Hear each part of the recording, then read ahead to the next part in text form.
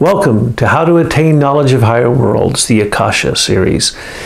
I'm thrilled today because again we are doing something so new with a whiteboard and we're going to use a magic word that most people don't know what it means to enter in to look at some cosmic subjects. So, welcome, initiates. Welcome to this broadcast today.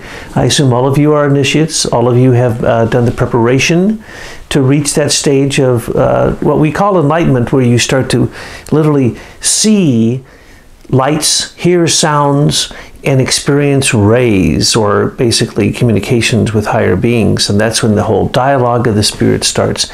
And that's what Akasha is all about. That's what this series is all about.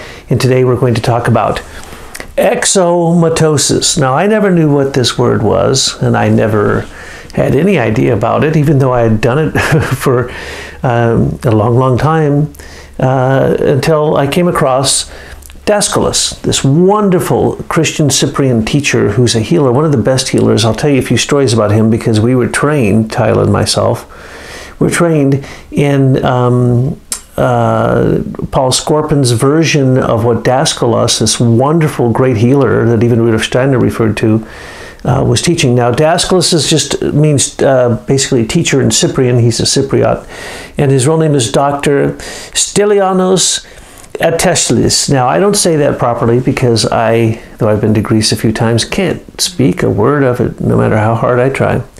But anyway, Daskalos, if you get his books, and by the way, they're just marvelous. I ran across this many, many, many years ago when I was young. It's called The Magus of Strovolos, and I read it and thought, oh, that's fantastic. Then I didn't know that that uh, Daskalos has some books himself. This is one of them, The Esoteric Teachings, A Christian Approach to Truth by Dr. Stylianos Atteshlis. And these are great. This agrees with Rudolf Steiner in so many ways. Now, what is it that this word means and why was Daskalos doing exomatosis?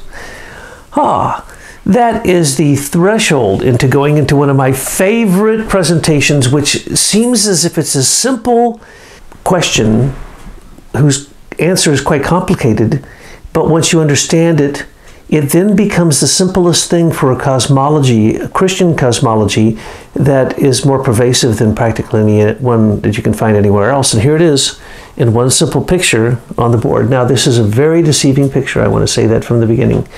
This is really the way it looks like, and I'm going to talk about that in a second. If we were to say uh, from a geocentric position, here you are lying in your bed asleep at night, you're on the Earth, and then this goes out to the realm of the Moon, Mercury, Venus, the Sun, three times through the Sun, Mars, Jupiter, and Saturn. You'll often see me use these sigils for the planets, but they're the same ones that you'll find in any cosm cosmological picture that I put upon the board. It's just, um, it's a frame of reference. It's something to hang your hat on. It's a way to look at it. Is it correct? No. No chart is correct that is describing higher beings because we can barely understand the very first rung of what it would be like to be a moon being or a Mercury being or Venus being or so on and so forth, an angel, an archangel, an archai. So this is simply a diagrammatic representation, which is certainly inadequate. But I put over here so that you would know that these sigils, planetary sigils often used in astrology, uh, are talking about these layers here, Earth, Moon, Mercury, Venus, Sun three times through the Sun, Mars, Jupiter, Saturn. And then when you get beyond that, you're in the zodiac. And if you go below the Earth realm, you get into the realm of the elementals. Now, again, why would we stack them up that way? Why would we use uh, the approach of Tycho de Brahe, uh, or you know, or or Kepler or Galileo or anyone, when in fact we know now that this is the truth over here? So I gotta mention this before we get started, so that you don't think I'm an imbecile. Uh, because now anyone who thinks that this if we put the sun here and the planets around it, to think that this would be, you know, geocentric or heliocentric or what is correct, that's all wrong. Have they changed any of the textbooks? No. But to get to exomatosis, which I'll be describing in a minute, we need to understand what it means to travel through these realms at night when you're asleep, because if you don't know what that means, you don't really have a cosmology, and you don't know where you go when you die, and what happens to you when you die, because every sleep is a small death. of course, uh, death uh, has a sister, and that sister is sleep.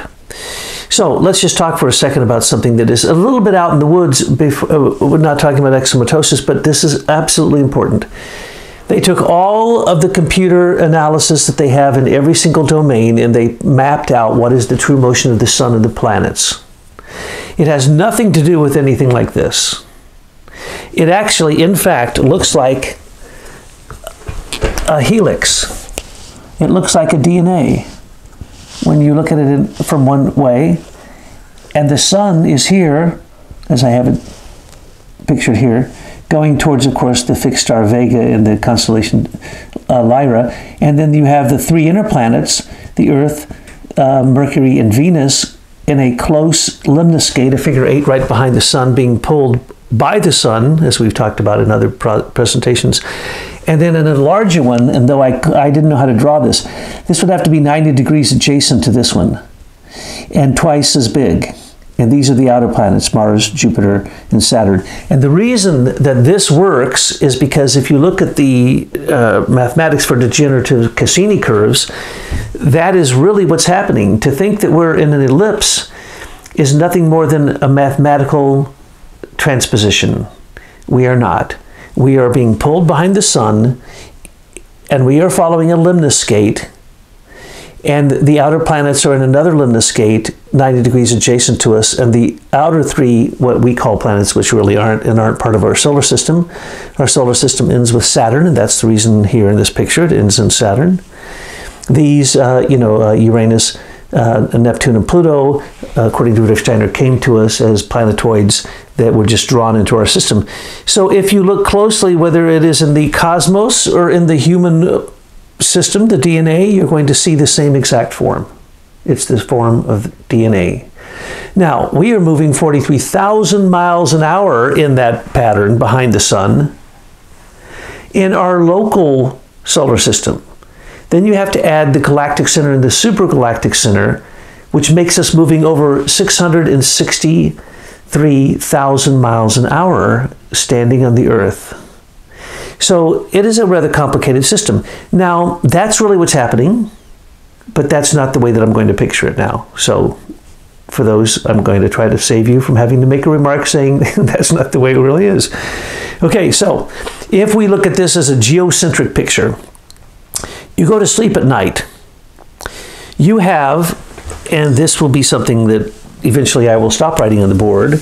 You have a physical body, an etheric body, the body of life, which keeps the physical body alive. You have an astral body, and then you have the ego, which can go between all of them and can actually go up into three higher realms where there's three other spirit realms which the ego can attain, but we haven't attained that much as a human being right now. So what happens? You got these four bodies. When you go to sleep at night, these two go up and out, and that's what I'm trying to describe here. So let's up and out. It goes out in all directions at once. These two, your ego and your astral body. What happens to the physical and the etheric? They stay here, and your blood pressure calms down, your heartbeat and your breath turns into a beautiful hexameter rhythm, basically, uh, four to one. As your perfect balance between breath and heart is attained at four to one, you go into a sleep that is regenerative. So your etheric body becomes very active at night when you're asleep, and it in fact regenerates the physical body every night. When you wake up, and your ego drops down into your physical body and you wake up because there's waking, sleeping, dreamless sleep, trance consciousness. We'll come back to that in a minute. But it's the reason I put it up here so I can say when you come out of your sleeping condition into a waking condition, what happens? The ego drops down into the physical, etheric, and astral. But when it does, it starts to eat it up alive. It starts to consume it.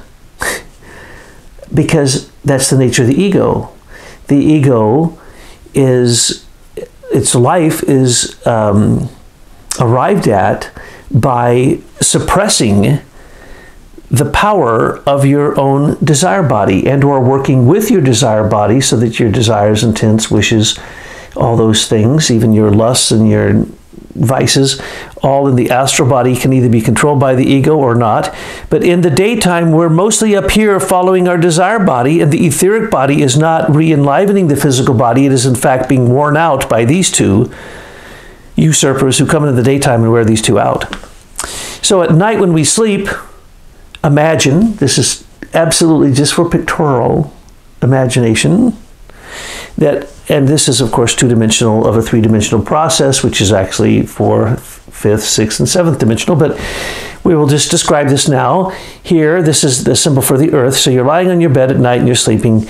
Your astral body and your ego go out. They don't go all the way out okay? Now i'm not going to get into the technical details of that exactly which organs which glands the nerve process and where parts of the ego and astral remain in your body at night when you're sleeping, and parts, most, most of the parts of these two go out. Okay, so what happens? Well, you start to expand. Imagine this is an onion, and, and just like, um, you know, um, uh, an onion has layers, this we're going to imagine this has layers. So imagine you're lying in your bed, you go to sleep, and you go out through the crown, and you start to expand in all directions at once. Now, that's not what we normally experience. And as I told you in our last talk, I think, the last couple talks, especially the last one with John Barnwell, waking up in these realms is not a pleasant experience unless you are well prepared and you have done the preparation for the enlightenment that must be inside of you to be able to experience these moral realms. And if you have no morality, you can't experience them. And what happens when you're asleep? Nothing. What happens to an initiate when they're asleep? Steiner said, An initiate does not sleep at night for knowing of the suffering of the world. Rudolf Steiner only slept three, four hours a night on the nights that he did sleep and produced more work than anyone you can shake a stick at. He is, his work is unbelievably prolific, you know, over 350 books, on and on and on. So, what is an initiate doing at night? Well, let's talk about what the normal person does at night first. And then we'll get to what the initiate does, which is exomitosis. Let me just say it now so you don't have to wait.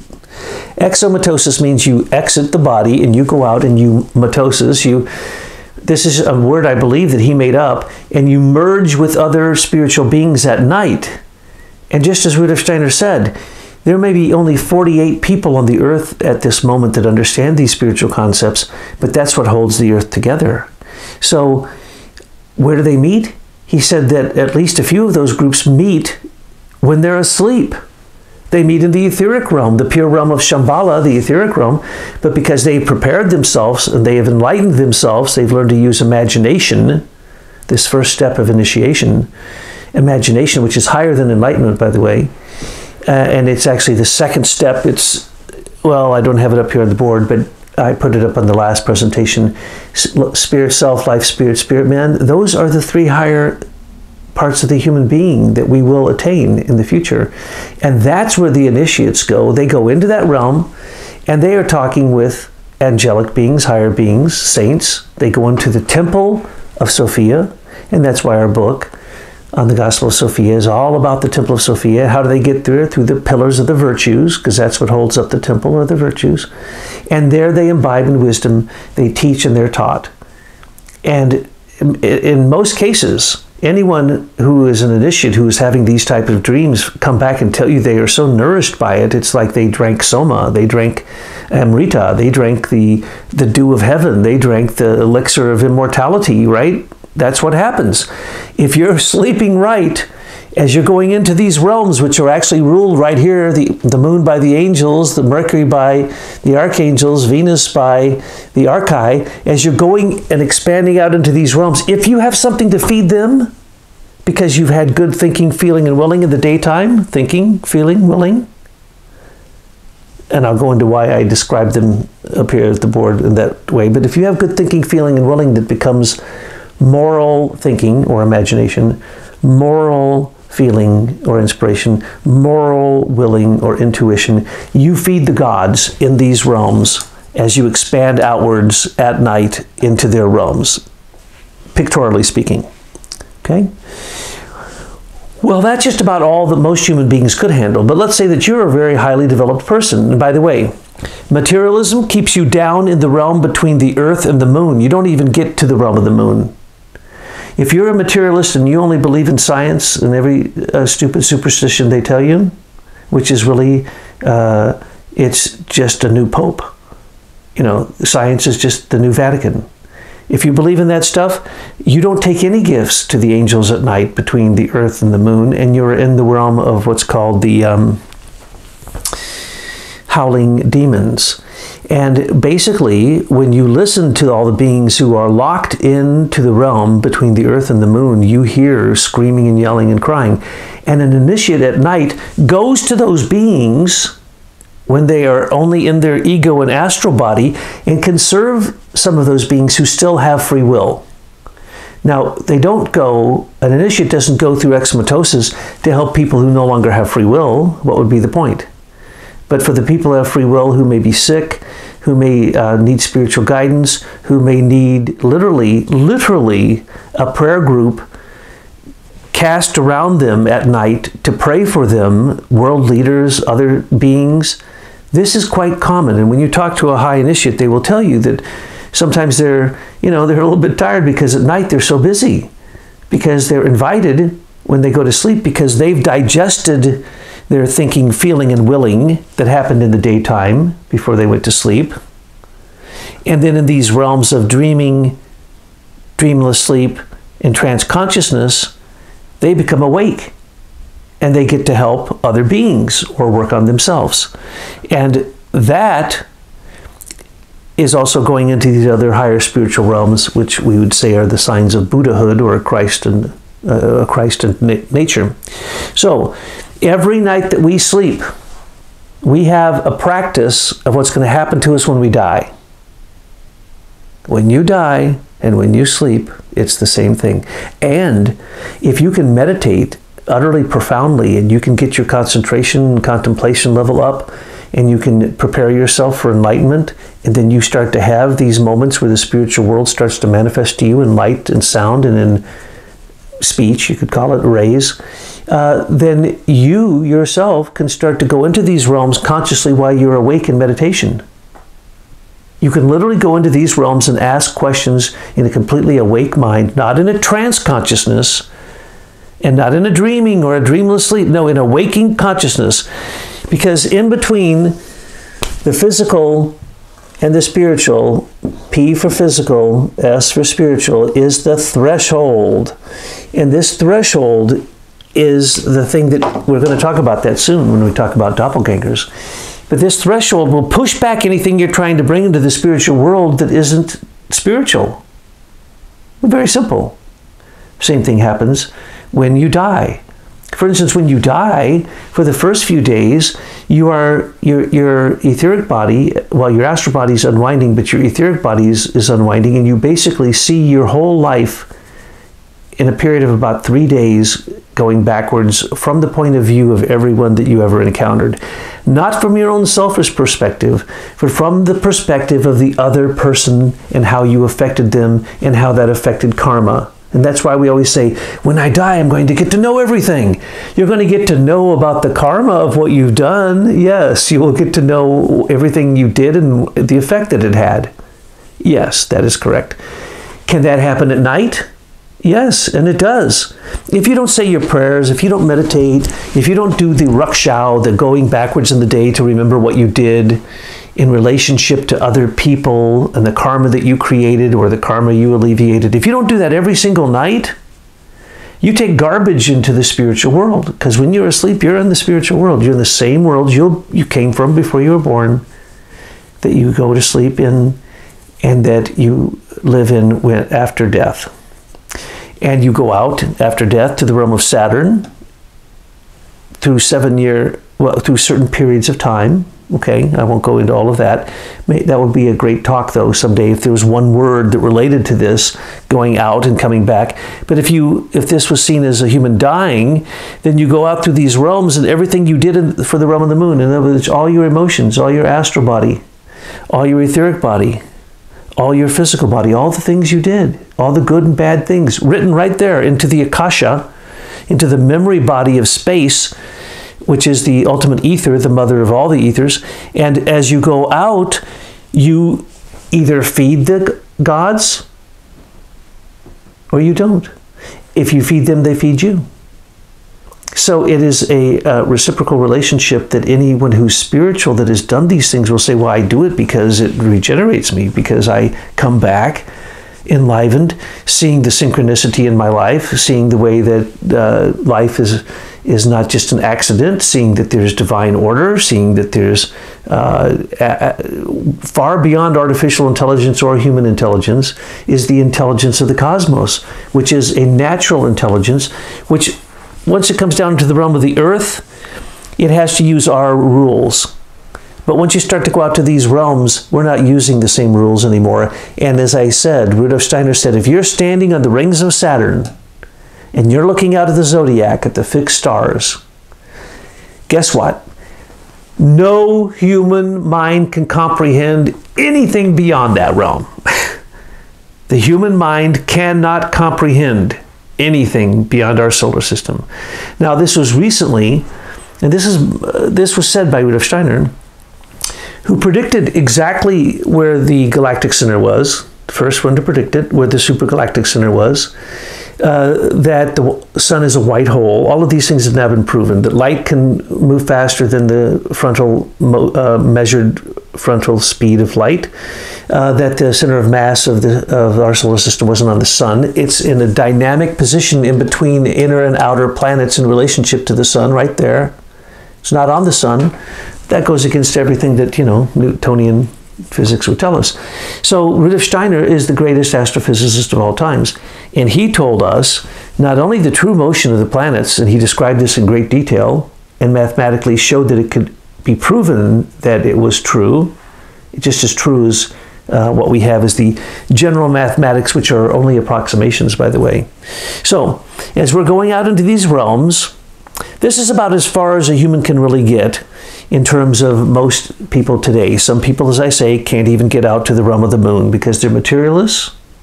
They live in a dark realm where thinking is dead. It's shadow gray thoughts. They live in a web, a spider web of mythology, superstition, and uh, papal encyclicals from the scientific world, which change, by the way, every day. But you're supposed to be up to date on all of it. It's just like the laws of the land. You must know all laws of the land. Somehow, you magically you're supposed to know that. And you're now supposed to know uh, all these laws. And would Anthroposophist get together, or Rudolf Steiner starts the lecture, he says, As you know, in ancient Saturn, Sun, Moon, he'll give this little first sentence where you go, What does any of that mean?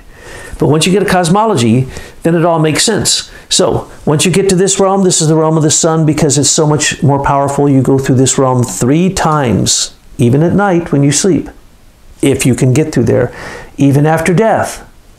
Three times it takes to get through the realm of the sun. And these have beings in them.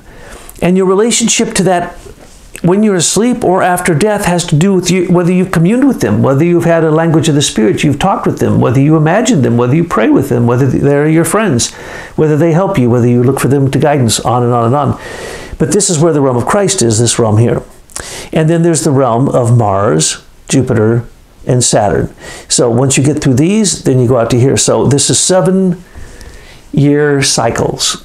So when you're born to the moon is seven, 14, 21, 28, 35, 42, uh, 49, 56, 63. So when you're 63 and you're standing on the rings of Saturn and you completed these nine realms, we talked about the nine realms in the last talk.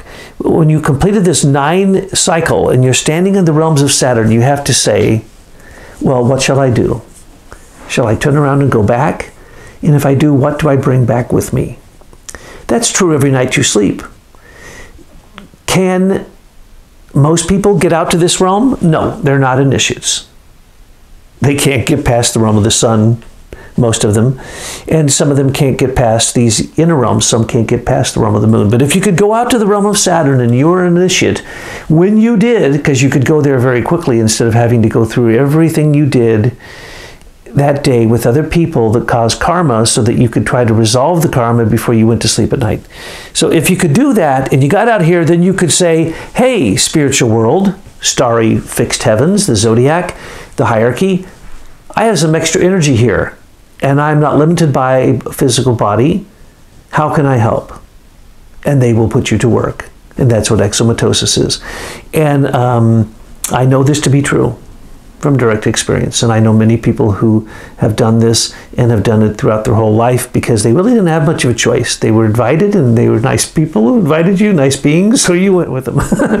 and you saw the next day in the newspaper that yes, some things changed or some things happened or some things were mitigated or so on and so forth or you just know that certain things were changed by people at night now we're welcoming you here into our into our um, what we call our biosphere.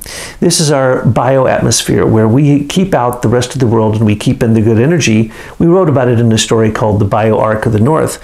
That's your body, folks. That's you, but you need to extend that in your art of living to your whole house, and then you need to extend it into the realm of Moon, Mercury, Venus, all the way to all these things. Those are all you. Saturn is part of you.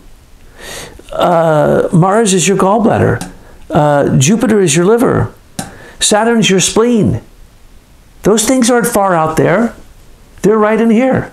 And they're very simply accessible to those who can wake up at night and start to listen. Well, first, strangely enough, I will usually say light, sound, and rays. But it usually appears sound light and rays. So when you're at night in your sleep and you start to hear things and you come back the next day, oftentimes you'll you will, will have been told something with words, right? Those are rays. You might have seen pictures. Well, dreams, you're going to see a lot of pictures, right? Uh, so that's the light. But when you start to speak with them, when that sound starts to happen, Rudolf Steiner calls that inspiration. Those are archangel beings. They're the beings of speech, the beings who control the different folk souls for the different nations they start speaking to you and you can ask questions and get answers. And so this is not a passive game of, oh, I'm going to uh, do the stages that it takes in the Lam Rim or the Lojong for, or knowledge of higher worlds for enlightenment, or how do I attain how, knowledge of higher worlds? Well, I study Rudolf Steiner's books, knowledge of higher worlds of the, and, the, uh, and its attainment. And you start to wake up in the daytime to know some of this and experience it, and you certainly start to wake up at night now, don't be discouraged if you don't have dreams. Don't be discouraged if your dreams are over vivid. Don't be discouraged if your dreams don't have colors. Don't be discouraged if you can't do what good old Don Carlos taught uh, uh, Carlos Castaneda to do. In your dreams, wake up by looking at the palms of your hands. Remember? That was the big teaching for all of Carlos Castaneda. In your dreams, when you think that you'd like to get control of them, look at your hands. And from that moment on, you have some control of your dreams. Uh, so don't be worried about all of that. Dreams take cycles, they go through cycles. Sometimes they're uh, uh, feeding you uh, and you don't know it. Sometimes you're feeding the spiritual world, you don't know it. But sometimes you'll have a cloud of fragrance come and surround you like a dream where you go, oh no, this can't be real this is otherworldly. I know that I'm smelling right now a certain flower, but I'm not because there's no such thing, not in this house, not anywhere near here. Well, that's the same thing. So when we talk about rays, we're talking basically about things that are about the level of fragrance, uh, which then you can literally be, think of it, smell your smell favorite fragrance and it can take you back to a time in your life where you literally have endless memory, endless memory from one smell for one nanosecond. So that's what happens when you go into the spiritual world. That's what happens when you go into this realm consciously and you can do some exomatosis. Now, let me just mention a couple things. Uh, I went past this very, very quickly, but I'll just highlight it. We have the waking state. Now, that doesn't mean you don't have a superconscious state, because there are.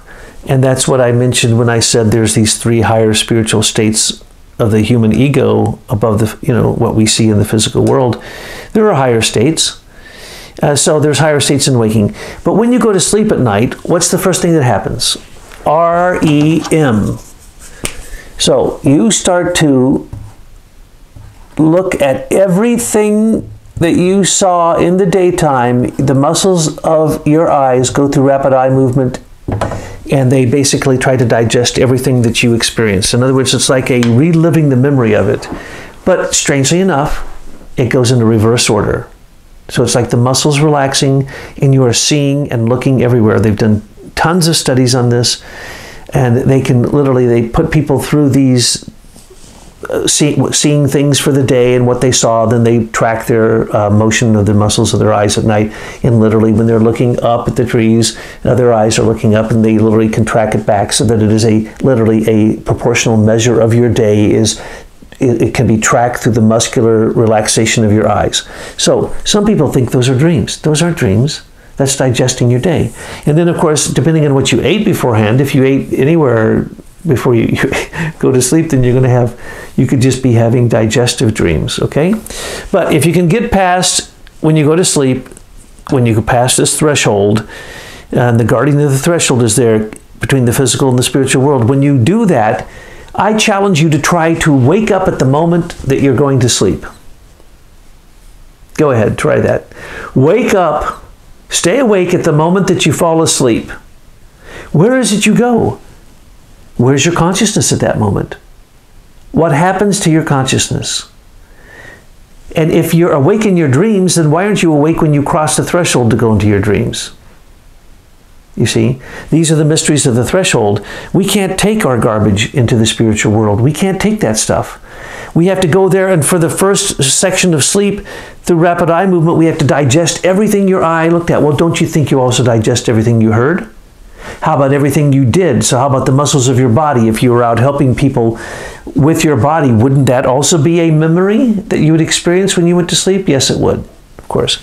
And then a lot of the sleep, a lot of the dreams that we have are right before we awaken because we're actually mixing waking um, sensory impressions with dream impressions, and they're complete nonsense. So when you go back to try to remember those dreams you had right before you woke, if it wasn't a continuing dream or a precognitive dream or a dream, a repetitive dream, then it's probably a, a physiological dream of you just reacting to your physical body. But if you can go into dreamless sleep, that's where your body is rejuvenated. And Rudolf Steiner calls them these. That's his names. Dreamless sleep. When you go into dreamless sleep, your body's rejuvenated. If you don't go into dreamless sleep when you're asleep, you go insane. And if you become an insomniac who never sleeps, well, I know a few. They're not normal people. Okay? Sleep is the panacea for all of this toxin we take in, take in down into the, in the physical earth. And if we do not go into that realm and get rejuvenated, then you will, your ego will become imbalanced.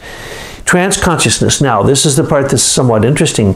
This is when you hypnotize someone or you go into the unconscious, the subconscious, the collective conscious. Well, that's super smart sometimes you can hypnotize someone or put them in trance or through um, their own uh, autosuggestive trance uh, or a, a cataleptic uh, state, and you can learn all kinds of things. You can learn physical facts from those people because they are super open and receptive. So, do we have all those? Yes, but where are they? They're down in trance consciousness. So, the last thing you want to do is to be hanging out with somebody who's channeling somebody when they're in a trance induced consciousness because you have no idea who's coming in because there's the subconscious, the unconscious, the anything could come in. You don't want to use trance to go into the spiritual world. So when you're in trance, when you're in sleep, you're in this super deep state of, of egolessness, of selflessness that uh, is used to contact these other realms. So then we also want to make certain that you know that thinking, feeling, and willing, these three things that are part of your soul, your soul, and you can also say thinking, feeling, and willing, your head, your heart, and your hands, or your willpower, your metabolic system. So thinking, feeling, and willing, these three things are transformed into higher forms of themselves and go into these spiritual realms. But when we're thinking normally, it's with waking consciousness. You're not thinking when you're dreaming. Most of the time, you aren't controlling your dreams unless you're an initiate or an aspiring initiate. And so, what, what do you have here? When you go into your feeling, you are dreaming. now, this really shakes up some people. Your feelings are dreams. Okay? Now, a feeling is always what? It's always sympathy or antipathy. It's either towards or away from, right? Towards or away from. Always sympathy or antipathy. Uh, uh always, you know, like, dislike, all this stuff. Feelings are different than love. Love comes out of the will.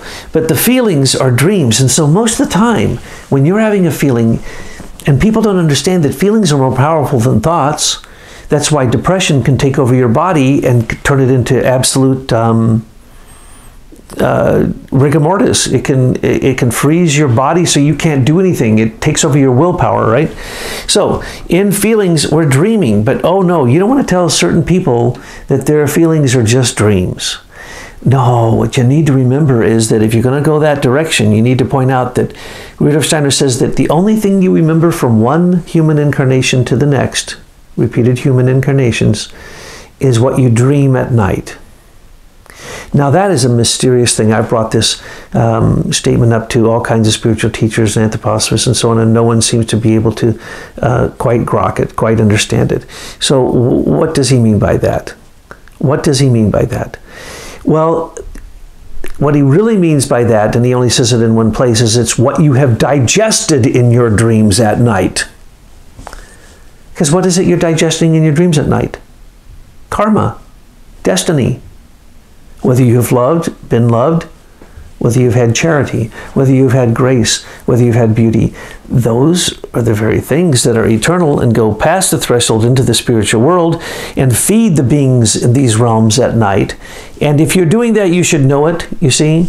And so when you say, oh, feelings are just dreams, no. Feelings are so powerful that they are dreams, and dreams are so powerful that they can help you digest things that you as a human can't digest. In other words, spiritual beings are coming to you at night and helping you digest in your sleep things that you can't. And so you can talk to people all you want, and some people have had lots of dreams, other people have had never a dream, nary a dream in their life. I've known numerous people who came to me and said they wanted to dream. So I said, take a double terminated crystal, put it within three feet of your head, and you will dream, and they usually do. Why is that? Because your head is where we deposit silica, calcium carbonate crystals, and many other crystals, all kinds of things from uh, cesium to iridium to you name it. Uh, so when this crystallization process happens and we start to deposit them in the head, uh, then the human head becomes um, piezoelectric, and it, silica is piezoelectric. So simply put, a double terminated crystal is a broadcaster and receiver antenna. And so is our pineal gland. But most people's pineal glands are calcified because of so much fluoride in the water and the horrible food and so on and so forth. So, anyway, this is what I wanted to bring to you today. This is exomatosis. So, folks, before you go to sleep, do your Rückschau, do your review of the day backwards from the other people's point of view, not your point of view. Do your homework before you go into sleep, and then you will get some control of your dreams and you'll be able to go into these realms and eventually you'll be able to go in asking questions of you actually ask it of Saturn and then in the morning you listen from the moon and you literally get answers sometimes even with spoken words images inspirations. You get this soma that i'm talking about and that is as you know, when you have an inspiration, it feels as if you've just imbibe something that is absolutely nutritional for your soul and spirit. Well, that's what this is. So use it to your advantage. And when the time comes that you're doing some exomatosis, Tyler and I will see you out there.